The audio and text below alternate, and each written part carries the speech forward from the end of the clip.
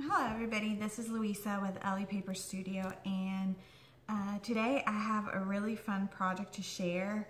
This is my first project project life layout and I have to do the quotation marks because I, I know that I'm not using the pocket pages that are traditional uh, project life.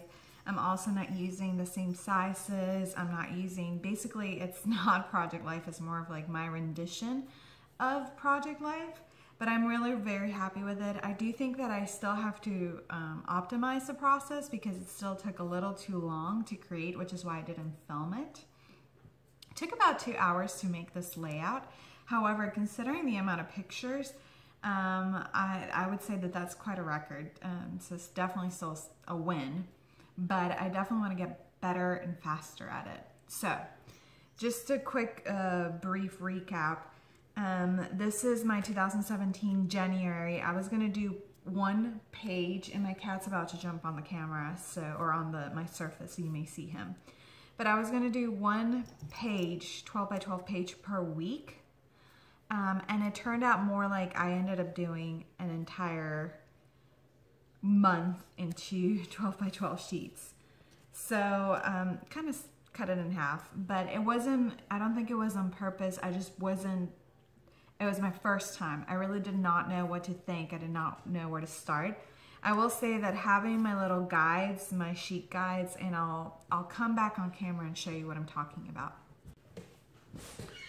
So definitely having these guides, this is a guide, um, helped it a heck of a lot um, because then it took a lot of the guesswork out. However, what I did not anticipate is that, and there he goes, and he's probably gonna sit on the layout because he loves sitting on things that I'm looking at.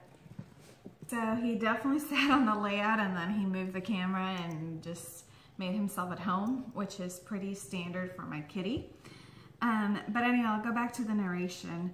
Um, so having this sheet here was incredibly beneficial um, to creating the layout. What I did is that I looked at my pictures and what pictures I wanted where and um, I just went through my pages and then I picked out a layout that would work well for however many pictures I had. So for instance, for this one, I knew I had quite a bit of, um, these were originally three by fours and I ended up condensing them to two and a half by three and a half, which means that I did have to cut quite a bit of the border out of the picture to be able to get them to fit in here. I will say that's the one thing that this does not take into consideration that these are meant for four by six um, prints that are either cut in half or in thirds or, or whatnot.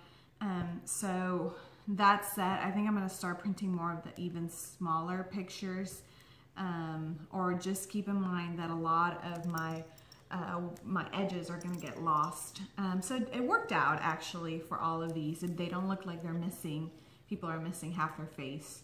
Um, but, so what I did, like I said, is just I laid out all my pictures and then I just went through layouts. For instance, I knew this one wouldn't work because I didn't have a single four by six uh, picture. Um, same with this one. This one, what you would need uh, portrait four by sixes. It just wouldn't work. So I just figured these layouts would work. And then even if they had square pictures and I just condensed the picture and then I added pattern paper where it needed to be added. Um, something that I did notice myself doing is um, I did not um, I did not use my silhouette at all with this with this sheets which did make it go a little bit faster um, I do want to incorporate some of my diet, like some of the, the silhouette cuts because they're really, really cute. So I, I did end up using this owl punch from Stampin' Up, which is how I was able to not use my silhouette is by using a lot of my punches or just even stickers or different things that I had on my in my stash. Um, these doilies here are from a punch. Um, pretty much everything's from a punch and just stickers and things from my stash. And these ones I created myself. Um, and these uh, labels I actually share in a previous video of uh, my introduction to Project Life and my 1500 subscriber giveaway. So I really, really enjoy, I love the look of it. It's really, really sweet. Um, I'm a little bummed down that uh, I wanted to do a week per page and I ended up doing two for the whole month. But um, I guess I, I also don't have that many pictures. So if I had done something different, it would have been a lot of, a lot more journaling than pictures. And I'm not a huge journaler. Um, so like for instance, in this one 4x4 sheet, I basically described every single picture on this layout. And I and here I just have like little bits of journaling. So definitely not a huge journaler. But I do really like how it turned out and how it looks. I chose more vibrant colors, which is not traditional for a January layout, especially because where I live it snows. But um, as you can clearly see, but I wanted to go with something vibrant and motivating for the entire for the rest of the year so that my the remainder of my project life album can look um, just can can start with a bang. So I hope you enjoyed this. Also I just wanted to share this is the album that I'll be using for my 2017 project life um, project. Just says this life is pretty amazing which is why I love it. I haven't created my introduction page.